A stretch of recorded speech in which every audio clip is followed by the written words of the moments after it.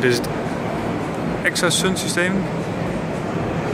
Black Mystique zoals ze het zelf noemen. 160 watt piek per vierkante meter uh, opbrengst. Op zich niet verkeerd.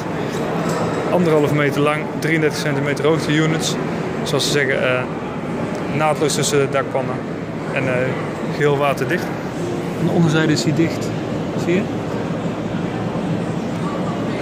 Hier kan ook niks in komen. Dus niet alleen water natuurlijk, maar vooral ook ongedierte en zo wil je er allemaal niet in hebben. Dus een mooi systeem van Exasun. Goed, ik zal alles in bericht zetten met informatie, ook de prijsinformatie.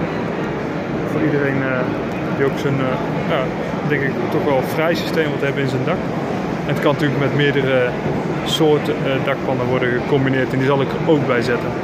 Mocht je dit zien in YouTube, zal ik de link daarvan onder de video zetten zodat je alles gewoon bij elkaar ziet.